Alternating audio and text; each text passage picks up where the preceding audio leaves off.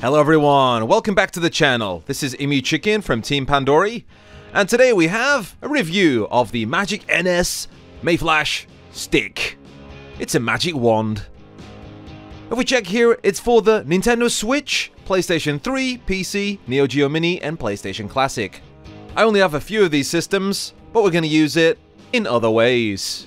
Inside the box we get the stick, a cable from USB-C to USB-A, and also, we have the manual with stickers. The manual does get a bit sketchy around here, but simply one of these adapters acts as one input. You might be able to attach four controllers, but they'll all be player one.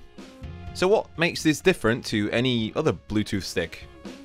Well, I have a few controllers. Here's a PlayStation 3 controller. This can link directly to the stick wirelessly via Bluetooth. Not just that, but a variety of controllers can actually connect to this magic stick.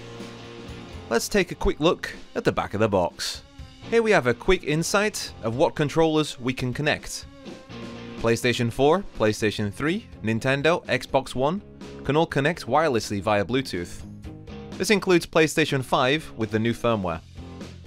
If we look closely at the end of my stick, we will see a USB port.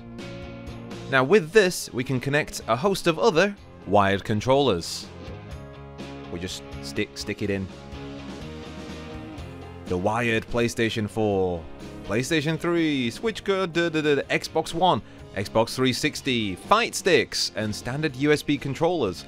Logitech is also mentioned here. I do have a 310 and I also have a wireless 710. As Logitech and Xbox 360 can only be attached via cable, we would need an additional dongle to our dongle. Double dongle. It might get a bit messy. This stick would be great for any TV box that has no initial support for Bluetooth, like the Super Console X Pro or the Super Console X. To use, simply insert your stick, then we'll have a flashing light. This indicator means it's searching for a paired device. If we tap the switch, it will be searching for a device to pair with. Using our PlayStation 4 clone, we can say hello to the stick.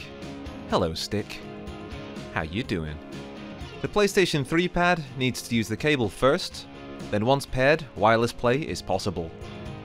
Even Wii pads are compatible, but you need to configure the pads within your software, or you'll be playing with your Wii stick upright. It works on the MUB, the RetroPie, and even using Batocera on our mini PC. So, why would you use this over the internal Bluetooth? Well, depending on the board, you can have noticeable lag.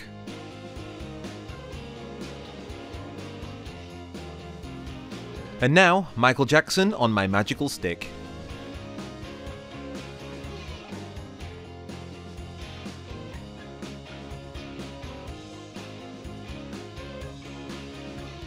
If we take a look at the back of the stick, we can see there are multiple modes. When flashing is trying to sync, and the variety of colours indicate the pad that this stick emulates. The system you insert your stick into we'll see it as a Switch pad, a Neo Geo, a PlayStation, and so on. To change the modes, we simply hold the switch on the stick. If you're subscribed, you can probably see where we can go with this. If you're new, please subscribe and enjoy the ride. Let's do some testing. Here's our Xbox 360 Hori arcade stick hooked up to the PlayStation 3. While this and the pad works, the Xbox 360 racing wheel does not.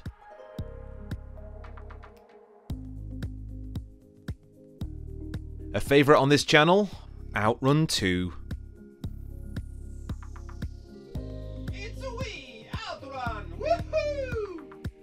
Attachments to the Wii controller also work, such as the nunchucks or the taiko drum. Slowly inserting the stick into the Astro City with an Xbox wireless controller, we can have large Astro City TV with the Xbox 360 Hori Tekken 6 stick. This is a great stick guys. Sanwa, mmm. Wicked Gamer recommended me to get this. No regrets in this $10 purchase. We can't forget about the Pandora boxes. These things usually come with the worst possible wireless pads. But now, we finally have a fix. Well, sort of. It works with the DX as well as the 3D Games Plus, but I had no luck with the older 3D games or Saga units. These games should be on arcade sticks. So guys, let's get into some of the pros and cons of the Magic NS stick. The product is fairly cheap at around $20. It works with a variety of systems and pads, and we also have a better connection than many internal Bluetooth controllers. Unfortunately, we can only have one controller input, so if you want two players, you need another dongle. The stick itself is a bit too long. Some people may like that, but things could get excessively messy as you need an extra dongle for wireless Xbox and Logitech controllers. We'd say that there's certainly a market for this. Having one controller to rule every system you own is just brilliant. If you'd like to grab one of these sticks, Ali and Amazon affiliate links are in the description below. It'll help us out without any extra cost. This has been Emu Chicken of Team Pandory, and I'll catch you on the next video. Stick, stick, stick, stick, stick, stick, sticks. Um...